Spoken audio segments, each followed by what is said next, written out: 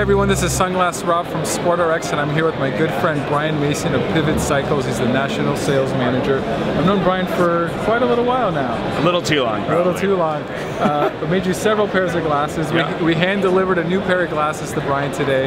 This is the Tifosi Core with the SportRx the One lens. You can look about all that if you want later on. SportRx is a great place to get glasses, but why you're here is because of this amazing, beautiful bike. I'm gonna get out of the way for once and let Bryan tell you about this bike. By the way, we've been at Interbike probably about 10 hours now and this is the talk of the show. This bike, this this place is a buzzing. Kind of I feel like this is the epicenter Interbike, so take it away. Well, I'm really stoked on these new glasses. I'm loving these lenses, uh, but I'm a little bit more stoked on our bike here. This is the Pivot Switchblade. This is 135 millimeter rear travel with 150 millimeter front.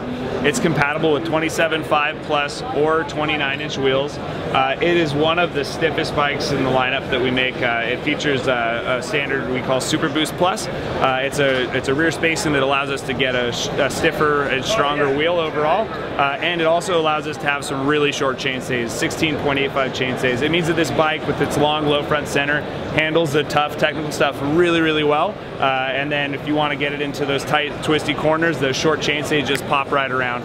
Uh, this is actually the preference of most of the, the staff currently at uh, Pivot actually. About half of us have transitioned to this as our everyday bike.